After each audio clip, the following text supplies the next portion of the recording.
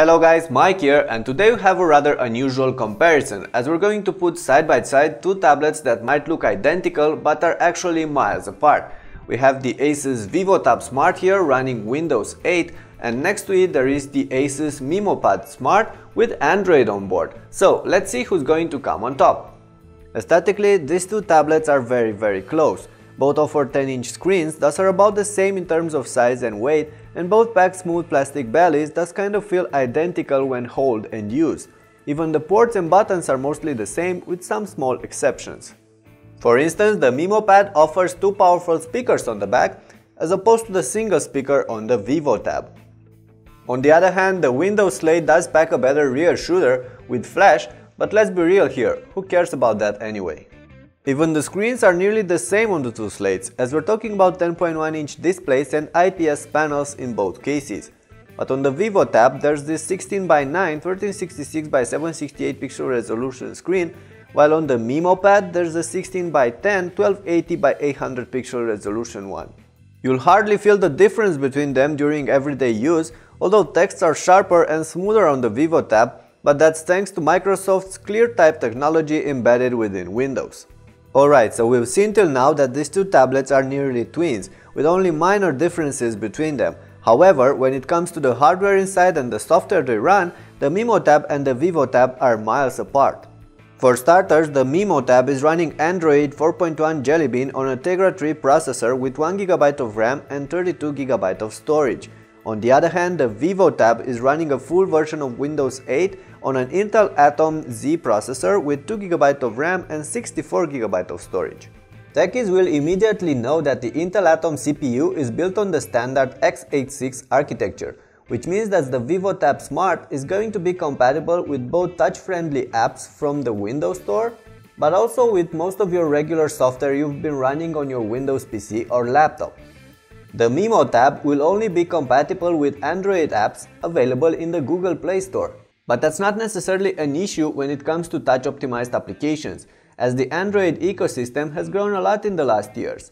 The Windows Store, however, well, it's pretty barren, and with a handful of exceptions, most of the apps available here are either basic or just bad.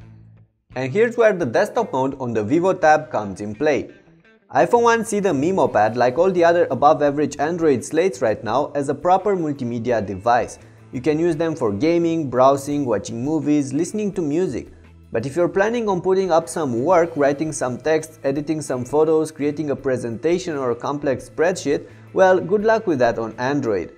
On the Vivo tab though, since it runs Windows, you can install Office or Photoshop, you can get a good file manager and an excellent multitasking environment.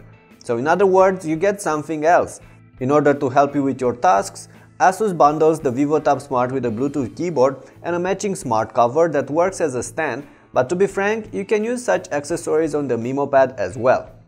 So when comparing these two slates, it's all about what you can do with them. For sofa use, Android is superior because of its mature ecosystem that will give you access to more apps, content and games. If you are not that much into gaming and need a tablet for browsing and multimedia content plus the extras offered by the full Windows experience, the Vivo Tab is probably the better pick. However, don't expect it to be as snappy as a modern laptop or PC. The hardware inside, while decently capable for everyday activities, is built for efficiency, not for performances. And that's why the VivoTab Smart runs cool and completely quiet, exactly like the Android tablet does, plus can go for between 6 to 10 hours on a charge or for days in standby, once again similar to what you're getting with the MemoPad. Those being said, except for the more powerful ecosystem in its backpack, it really looks like the Vivo Tab is the more capable tablet here, but it is also significantly more expensive than its rival as it starts at 499 while the MemoTab is selling for around $350 or even less, and that kind of complicates the whole story. Trying to keep it simple though, once again, think about what you need from your tablet. If you want a potential replacement for your laptop, then go for the Vivo tab. but if it's mainly a multimedia device you crave for, the cheaper MemoTab is going to be the better option. Anyway, time to wrap up for today. Let me know what do you guys think about these two Asus tablets and please tell me in the comments down below which of them would you choose and why. And of course, if you found this clip useful, please make sure to share it and also if you're not already subscribed to our channel, maybe you can do that too. Until next time, take care!